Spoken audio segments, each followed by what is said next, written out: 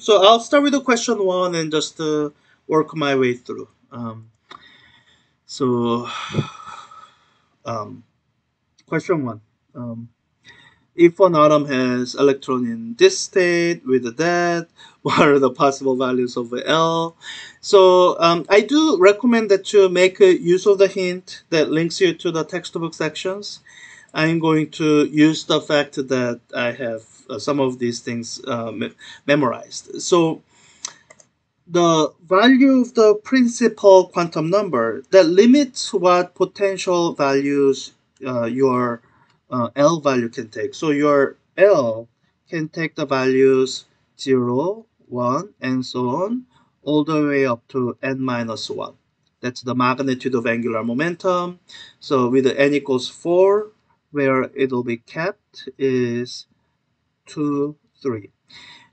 Now, if you put this in, um, the, the system will tell you that's wrong. And that is because knowing your angular momentum projection state, that also actually limits you in what possible value of the total, the angular momentum magnitude you can have.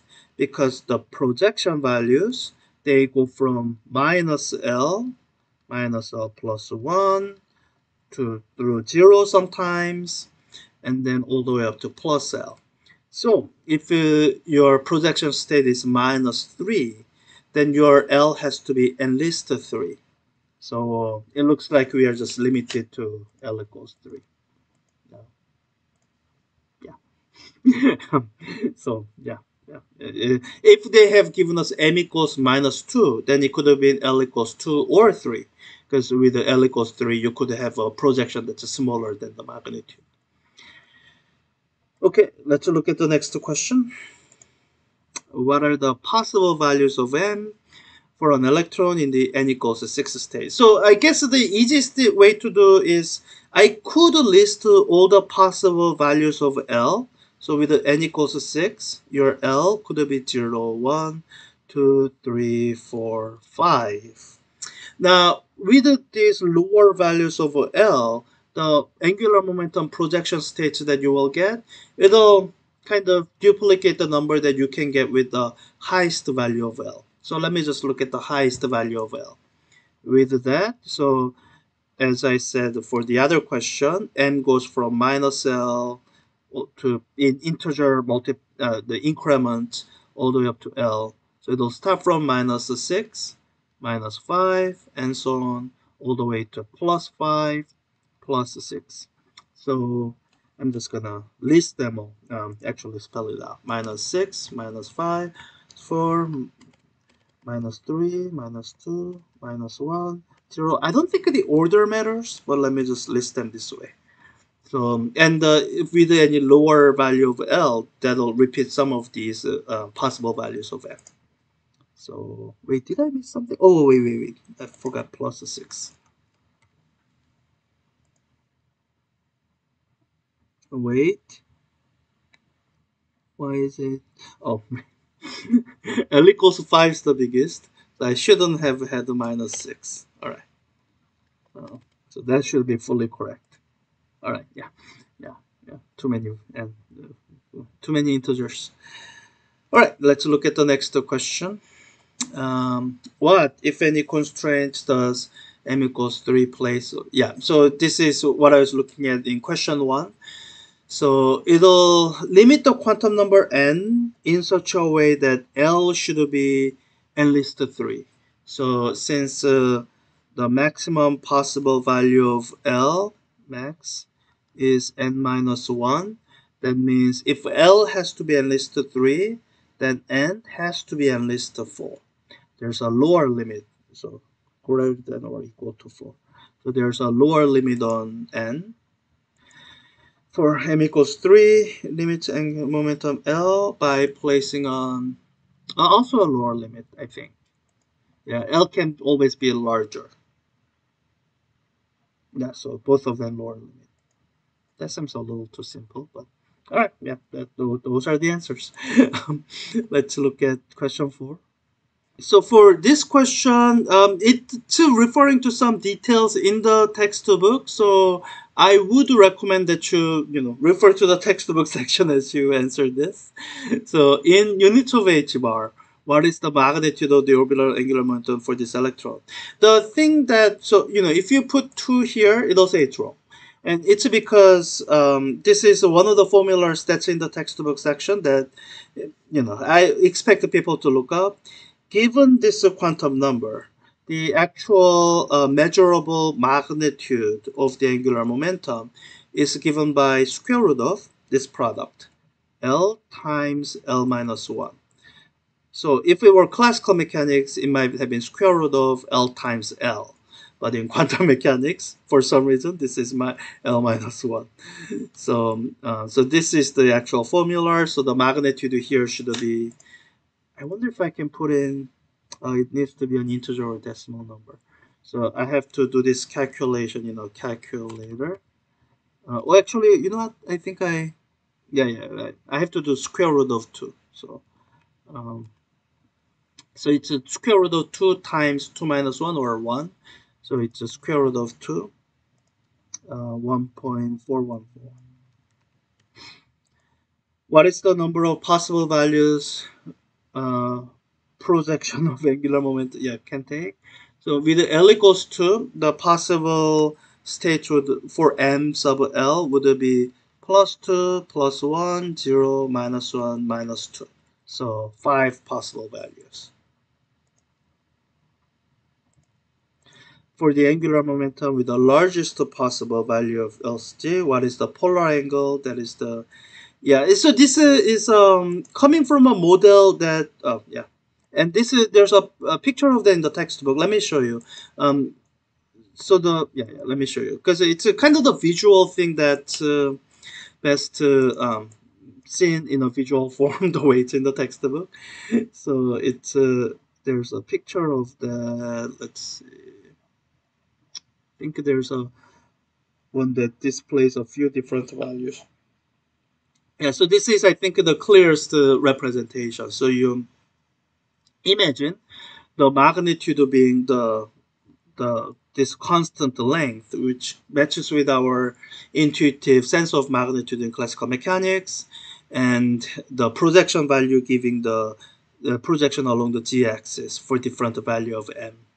And um, so these distances are going to be different. It'll be shorter than the magnitude and uh, yeah, shorter.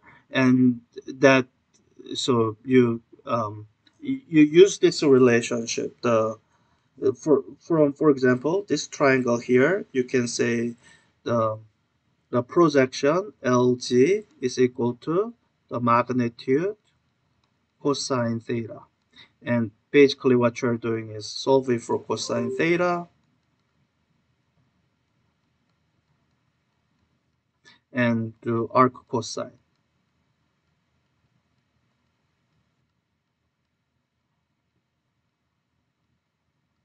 So, um, so yeah, I just plug in numbers for that. So now the thing that I might have misremembered the formula. This might be L times L plus 1. Because I think that's the only way the formula I'm thinking makes sense. So let me try this. Uh, I'm going to click submit. It'll probably say that's incorrect. Um, then I will correct it. Yes, let me correct it. so what it should be is uh, it should be square root of 2 times 3 that uh, 2 times 3 that's what I'm taking square root of. Yeah 2.449 yeah. As I was looking at the diagram that diagram only made sense uh, if uh, the if the magnitude was longer than the largest value the projection could be so the projection is going to be for this state uh, 2, 2 h bar. That's the longest projection. And so 2, 2 divided by 2.449, that's giving me the cosine of the angle. So I'll calculate um, 2 divided by 2.449. That's the cosine of theta. So I do inverse cosine to get what theta is in degrees. 35.2. Yeah, I think that's about right. And uh, one kind of caveat to leave you with is um, this is um, it's a model of a sort. It's a kind of visual representation. It's a there are contexts where this interpretation is perfectly fine, okay, doesn't lead to any mistakes or wrong results. And there are contexts where literally thinking of spin states like this or angular momentum states like this can lead, lead to errors. So these visual models, I'll just give you caution that um, all models break at some point. The only thing that's fully correct is the full mathematical description of quantum mechanical systems. So, okay, so let me continue. Um, I think the next one is question five, which I have done. So let me go on to question six, which I haven't done. Answer below questions ignoring the electron spin. Okay, um, so what I'm considering is um, basically the three quantum numbers n, l, and m sub l. So with n equals one shell, oh, there's just gonna be one because uh, with this I know my L is equal to zero. So the only possible value of the projection is zero. And this is the really the main thing, the key thing that the Bohr model got, got it wrong. The ground state is a zero angular momentum state, which Bohr model didn't anticipate. Um, n equals to, okay, so L is, go, uh, this is still a possible value. Don't forget that. And the additional possible value is now L is equal to 1 which will lead to m sub l is plus 1, 0, minus 1. So there's a total of four possible states. And I hope you're going to see a pattern once I get to the next state. Um, so with n equals 3, again, your L values, all the lower values remain possible. So there's going to be 1 here, there's going to be uh, 3 from here, and with the L is equal to 2 state, there's gonna be um, plus 2 plus 1 0 minus 1 minus 2 5 states so um, there's gonna be a total of 9 states and I hope you begin to see, um, yeah, notice a pattern. Looks like I'm squaring the n. So, all right, let's take a guess. 144 for the n equals 12 state. Um, yeah, which is a super high, yeah. So and yeah, I guess is right. and uh, I guess uh, these three you can do the counting the way I did. You can also look at periodic table that might actually give you some idea. This is the kind of answer that much quicker to get once you recognize the pattern. So, all right, so that's uh, question six. Let's uh, look at the next question. Find the magnitude of the orbital magnetic dipole moment of the electron in the 3p state.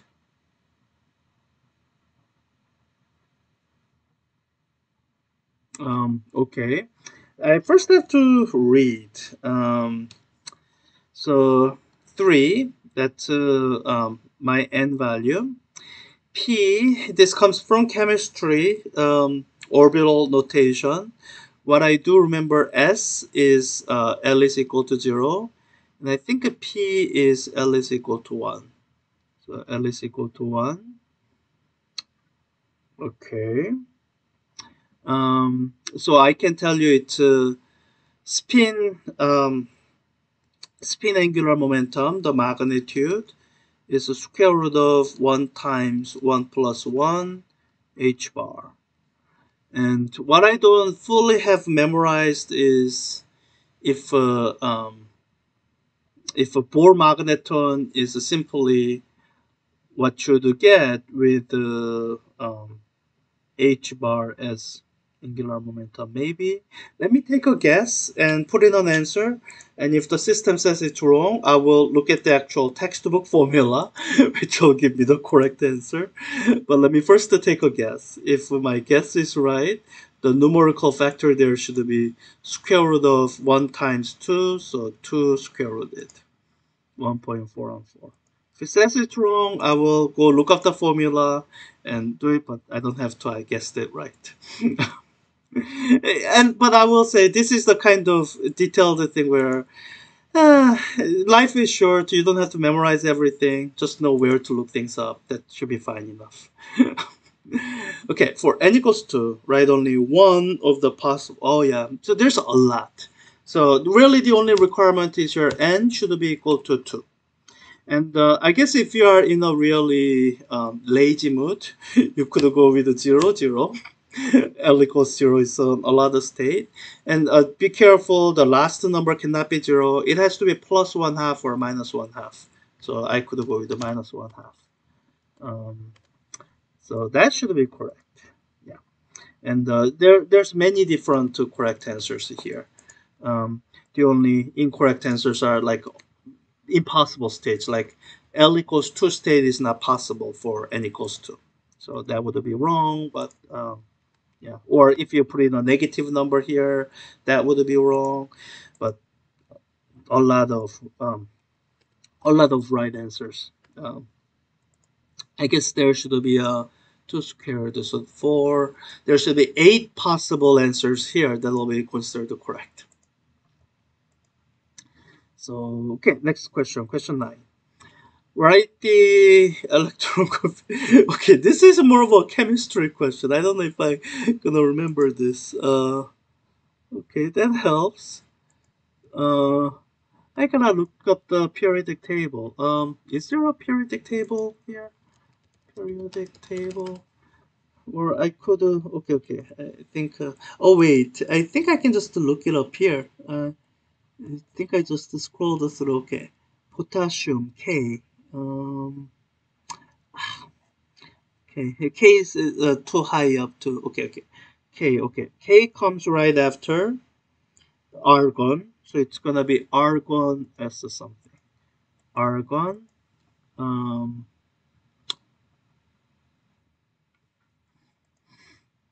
one, two, three, four, four, four S one, I think.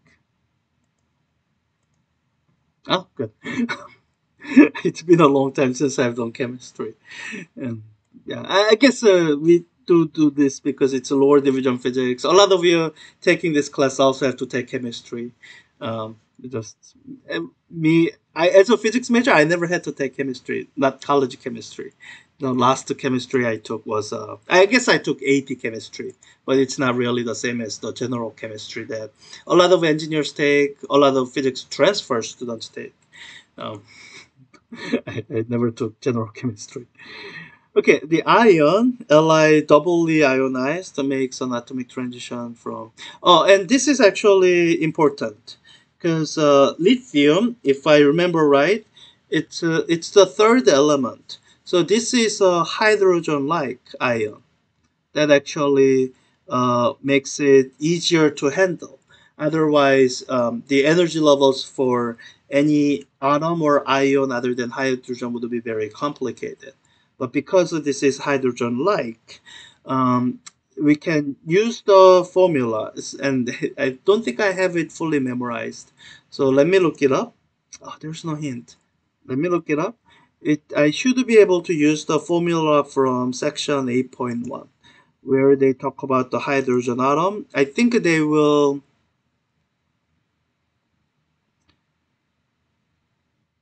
they will uh, give you the version of the formula that has Z in it. Yeah, this is the energy levels. And actually, if it, um, I can guess from here what the version of the formula with Z would be. Basically, this is the, the, the electric charge term. It comes from the product of the two charges. The, the, uh, the charge at the nucleus and the, uh, and the charge um, of the electron. And I guess they, they come become some power for some reason. So where you have e to the fourth, uh, if your charge of the nucleus changes, then that charge will become Z E squared. And the charge of the electron didn't change, so that'll remain.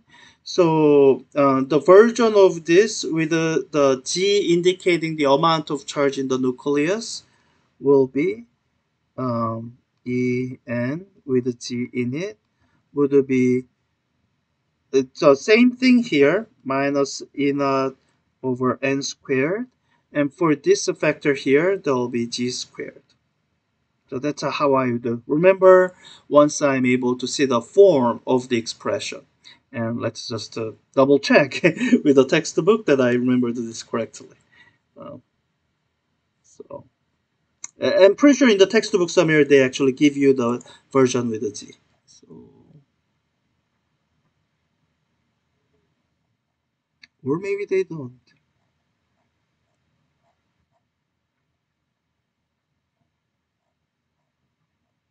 Oh, do they not? Huh. I mean, if they don't, this could be a really difficult question for people to answer. Um,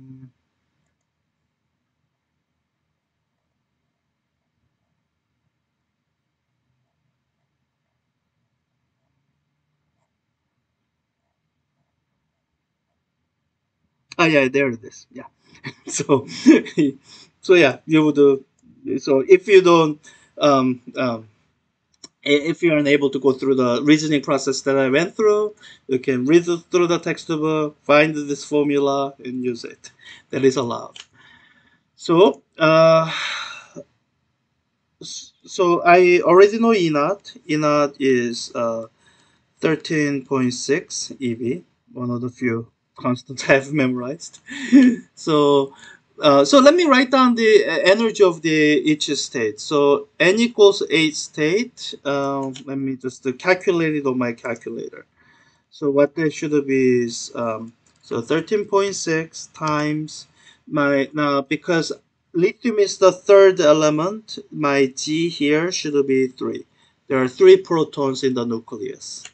So it'll be that times 3 squared divided by the n state squared, so 8 squared is equal to 1.913 EV. And there's a minus sign, so minus 1.913 EV. And for n equals 2 state, let's uh, plug the numbers again. 13.6 times 3 squared divided by 2 squared. 30 minus 30.6 eV. Wow, that seems really high. But I guess that's right. Um, yeah, so the energy of photon emitted should be the difference between these two, or can I do this in my head? Um, 28.687, uh,